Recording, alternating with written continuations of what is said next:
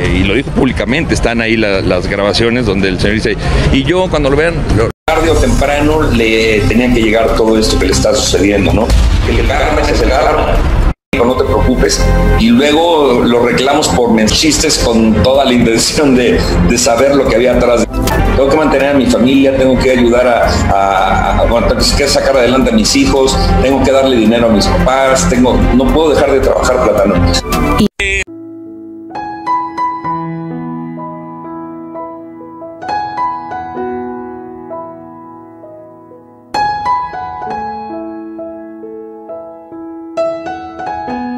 No, ni qué bueno que no vi esa entrevista.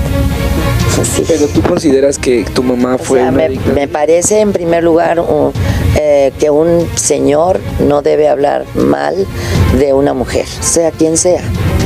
Y, bueno, si todavía tiene lazos familiares, pues con más razón. Me parece que debemos empezar a respetar y a dejar de hablar de los demás con tanta facilidad y de manera tan hiriente.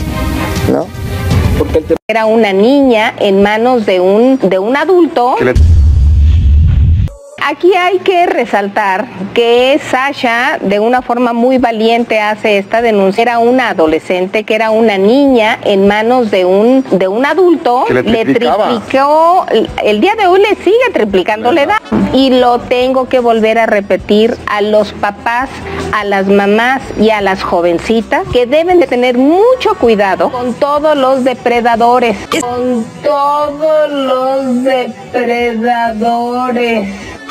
Años dejé que me entrara una cruda, ¿sabes? Como que estuve siempre en un tren muy fuerte de adicción. Y un día mi cuerpo se desconectó y,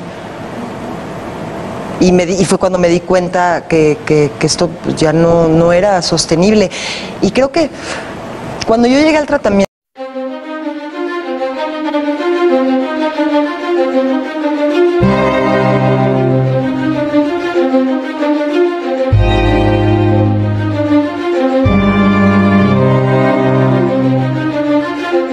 preguntar exactamente ahorita si lo de Sasha había sido real. Pues es que, es que no falta quien te viene a inventar una historia de ese tamaño. O sea, yo ya no quiero ni hablarlo, me da mucha pena que en, lugar de hablar de Sasha por lo que es, ahora tienen que hablar de pobrecita niña. No, No es cierto, por favor. Pero la realidad, ¿cuál fue? O sea, sí se enamoraron, como dices. No, ella, yo creo que yo fui el que de repente agarré un afecto por ella. ¿Qué buscaban todas las niñas? Una, una, una especie de imagen paterna. Creo que por ese lado fue. Claro, ¿qué pasó con la mamá?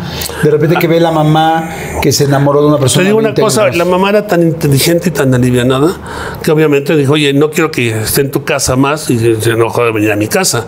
Y te digo, y el día que Sasha también se desencantó con ese momento, pues cambió nuestra relación completamente profesional. ¿Cuánto tiempo anduvieron?